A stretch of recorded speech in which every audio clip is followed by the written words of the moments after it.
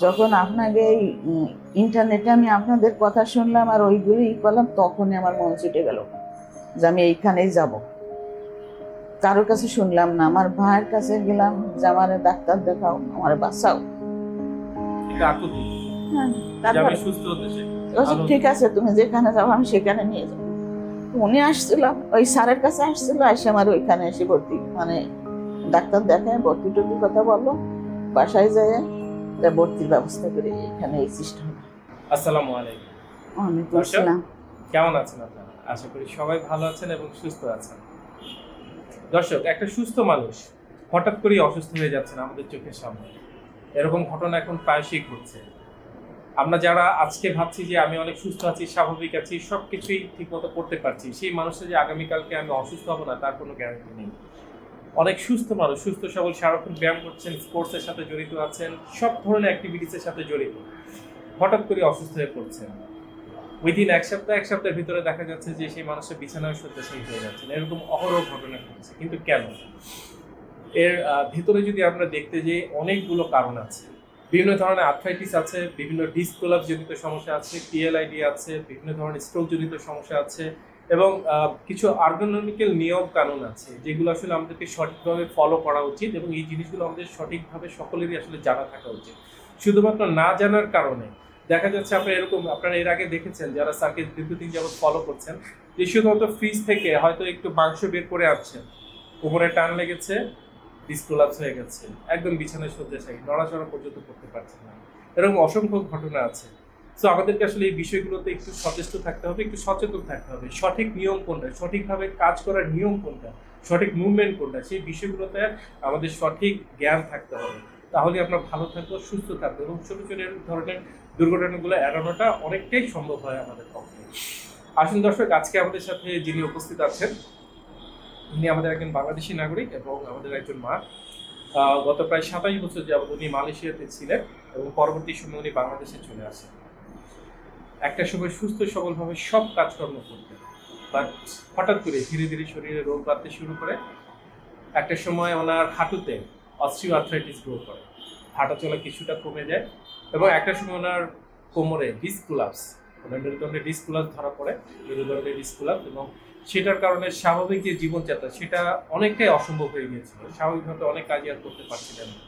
এবং পরবর্তী অবস্থায় কি হয়েছিল আসুন দর্শক ওনার কাছ থেকে প্রথম থেকে শেষ পর্যন্ত আমরা আজকে একটু শুনব। আসসালামু আলাইকুম। ওয়ালাইকুম আসসালাম। মা আপনার নামটা যদি একটু বলেন। আমার নাম মনারা পারভিন মঞ্জিলা। রঞ্জিলা বাংলাদেশে দেশে বাড়ি কোথায়? নড়াইল। নড়াইল। হুম। নড়াইলে কি এমনি থাকে আমি ঢাকায় থাকি নড়াইলেও থাকি। ঢাকায় কোথায় বাসায়? ঢাকা উত্তরা। উত্তরাতে। আচ্ছা আমরা জানি আপনি গত দীর্ঘ সাতাইশ বছর আপনি মালয়েশিয়াতে ছিলেন। হ্যাঁ। আচ্ছা তো আপনার এই যে পায়ের ব্যথা এবং কোমরের ব্যথা এই পায়ের ব্যথাটা শুরুটা কতদিন আগে? পায়ের ব্যথা আস্তে আস্তে একটু হাঁটা চলা বেশি পড়েছে আমার জীবনে তবে দশ? বছরের উপরে গেছে কিন্তু গাঢ় হয়েছে দশ বছরের হবে। মানে আরও আগে থেকে ছিল কিন্তু আপনি ব্যথাটা বুঝতে পেরেছেন তার মানে গত দশ বছর থেকে ধীরে ধীরে ধীরে ধীরে হ্যাঁ, আপনি ব্যথাটা বেশি যখন প্রথম দিকে হাঁটু ব্যথাটা শুরু হলো কোনো ডক্টর বা কাউকে দেখিয়েছেন হ্যাঁ ডক্টর দেখাতাম ডক্টরের কাছে গেলে ওষুধ টষুধ দিত খাইলে একটু কমতো আবার বাড়তো। আমি অনুভব করতাম না অত ই দিতাম না। চলতাম কাজ হ্যাঁ কাজ টাজ করতাম চলতাম ওইভাবে খুঁড়াই খুঁড়াই খুঁড়াই মানে ব্যথা ব্যথা থাকতো। ব্যথা ব্যথা ভিতরে থাকতো আমি মানে চলাফেরাও সহ্য করে হলো সেই কাজগুলো হ্যাঁ। আপনি আপনার কাজ আপনি সবসময় করে আসছেন। হ্যাঁ, এবং দেখা যাচ্ছে হাঁটতে পারছেন না তারপর কষ্ট করে মনের জোরে আপনি হ্যাঁ, কাজগুলো করতে সংসারে কারণ সংসারে কাজ করতে হবে সন্তানদের দেখাশোনা করতে হবে স্বামীকে দেখাশোনা করতে হবে। আমরা বাঙালি মারা মনে আসলে দর্শকের এরকমই অনেকটা যে নিজে শেষ হয়ে যাব আর পরিবারকে আমরা কষ্টে থাকতে দিব না। আচ্ছা যখন দেখলেন ধীরে ধীরে এইভাবে কষ্টটা বাড়ছে হাঁটতে পারছেন না কষ্ট যখন- ধীরে ধীরে হ্যাঁ, ব্যথা বাড়ছে কি করলেন তখন? তখন হাঁটতে পারছেন না ওই দেশেও দেখাইছি কোনো কাজ না হলে বাংলাদেশে চলে আসলাম সিদ্ধান্ত নিলাম ইন্ডিয়ায় যাব। আচ্ছা। সিদ্ধান্ত নিয়ে হাঁটতে পারতাম না। হাঁট মানে বেকায় যেতাম। হাঁটতে গেলে পা বেকায় যেত বা মানে সোজা হতে পারতাম না। তারপরে ইন্ডিয়ায় গেছি।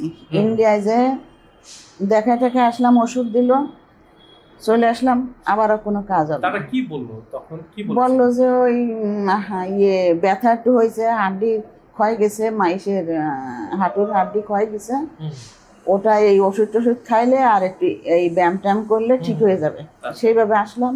আসার পর ওই একই অবস্থা একই অবস্থা। কোনো ইমপ্রুভমেন্ট নাই। বরঞ্চ আরও দিন যাচ্ছে আরও খারাপের দিকে যাচ্ছে।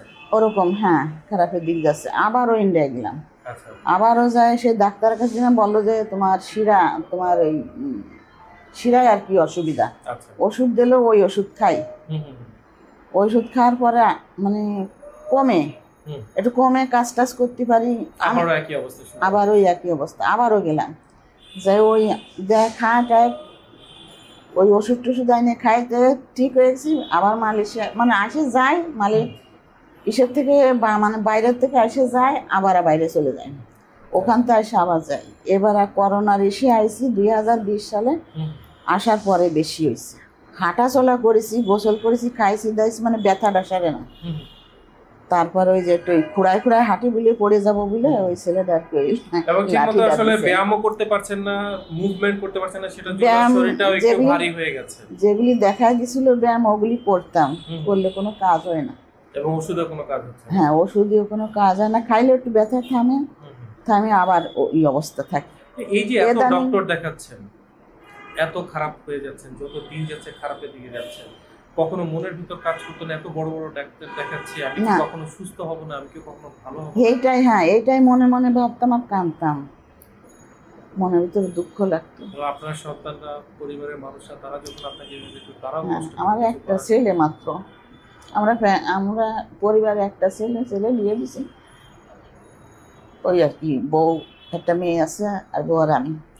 এখন ছেলেও অনেক জায়গা নিয়ে যায় দেখতাম দেখা কোনো কাজ হচ্ছে। যখন যেখানে পারতেছে মাকে তো সুস্থ করতে হবে মাকে তো এভাবে দেখতে। হ্যাঁ। যখন আপনাকে এই ইন্টারনেটে আমি আপনাদের কথা শুনলাম আর ওইগুলি ই করলাম তখনই আমার মন ছুটে গেল যে আমি এইখানেই যাব কারোর কাছে শুনলাম না আমার ভাইয়ের কাছে গেলাম যে আমার ডাক্তার দেখাও আমার বাঁচাও হ্যাঁ তারপর ঠিক আছে তুমি যেখানে যাব আমি সেখানে নিয়ে যাব উনি আসছিল ওই স্যারের কাছে আসছিল এসে আমার ওইখানে এসে ভর্তি মানে ডাক্তার দেখায় ভর্তি টর্তি কথা বলল বাসায় যায় তা ভর্তির ব্যবস্থা করে এখানে এই সিস্টেম কিন্তু ওভারঅল প্রথম দিন যখন আপনি ভর্তি হয়েছেন সেই অবস্থা থেকে আজকে পর্যন্ত আজকে অনেক ভালো আছে? অনেক ভালো আছে আপনার যে শরীরে হাঁটুর যে প্রচণ্ড ব্যথা ব্যথা আমার হাঁটুতে কোনো ব্যথা নাই এখন। মানে আপনি হাঁটতে পারতেন না সেই মানুষটা এখন মোটামুটি একটু হইল আপনি একটু হাঁটতে পারতেছি হ্যাঁ। আমার হাঁটুর ভিতরে কোনো ব্যথা নাই কোনো ব্যথা নেই শারীরিকও খুব এনার্জি আছে খুব শক্ত এই যে চিকিৎসাটা এই আপনার কি মনে হয় এই চিকিৎসাটা যদি আপনি আরও দশ বছর আগে বা বছর আগে বছর আমি তো আগে দুই বছর আগেও জানতাম। আমি তো ইন্ডিয়ায় কোনোদিন যেতাম না। ইন্ডিয়ায় কখনো যেতাম না বা এই জায়গাও আমি কোনো জায়গা দেখাতাম না। এখানেই আমি আসতাম। তো যতটুকু হয়েছে দেশে বলেন বা বিদেশে বলেন অসংখ্য মানুষ আছে যে যেমন আজকে কষ্টে আপনার যে চোখের পানি চলে আসছে আমরা দেখতে পাচ্ছি এটা আসলে ভিতর থেকে কষ্টটা আসতেছে। গত দশ বছরে আপনি যে কষ্টটা করেছেন কত সুন্দর সময় ছিল সেই সময়গুলো নষ্ট হয়েছে জীবন থেকে চলে গেছে। জীবনে হয়তো আরও অনেক কিছু করতে পারতেন সেগুলো কোনো কিছু করতে পারেন ব্যথার যন্ত্রণায় ঘুমাতে পারেন হ্যাঁ। রাতের পর রাত দিনের পর দিন। কত আকুতি করেছেন অনেক মানুষের কাছে, সেই কষ্টগুলো এখন বের হয়ে আসতেছে। তো এই এই সুন্দর সময়গুলো কখনো মানে নষ্ট হতো না আপনার জীবন থেকে। তো আমাদের এরকম অসংখ্য দর্শক আছেন, তাদের জন্য এই যে আপনি স্যারের কাছে এসেছেন ট্রিটমেন্ট নিয়েছেন, স্যারের চিকিৎসার ব্যবস্থা দেখেছেন, এই সম্পর্কে যদি আপনি তাদেরকে কিছু বলেন। যাই হোক, আমি তো সুস্থ হয়ে গেছি। এখন আমি চাই আরও আপনারা যারা আছেন, এখানে আসলে সুস্থ হতে পারবেন, ভালো হতে পারবেন, এখানে ভালো চিকিৎসা ভালো ইয়ে আমি আমি যেটা এই সুস্থ হয়েছি হয়েছি আমার আশা করি যে যে আসবেন সে ভালো হয়ে যাবেন এখান থেকে। এখান থেকে কেউ মানে ফিরে যেতে ফিরে যেতে হবে না আবার সেই মানে অসুস্থতায় আলহামদুলিল্লাহ। দর্শক উনি কারও না কারও মা। আপনার মা আছেন বাবা আছেন পরিবারে ভাই আছেন অসুস্থ দীর্ঘদিন যাবত পড়ে আছেন বিছানায় হাঁটতে পারছেন না। বা হয়তো প্রবলেম দেখা দিচ্ছে। যখনই সমস্যা অবশ্যই বিশেষজ্ঞের পরামর্শ এই যে আমার মাকে দেখুন যে উনি মালয়েশিয়া গিয়েছেন ইন্ডিয়ায় গিয়েছেন উনি নিজের মুখে কিন্তু এখন বললেন যে আরও দুই বছর আগে অন্তত উনি যদি জানতে পারতেন হ্যাঁ। এতটুকু খারাপ অবস্থা কখনো ওনার হতো না। এতগুলো সুন্দর সময় ওনার জীবন থেকে চলে যেতেন অসুস্থ হয়ে বিছানা করে হতো না। এটা আমি নিজের থেকে আসছি এখানে।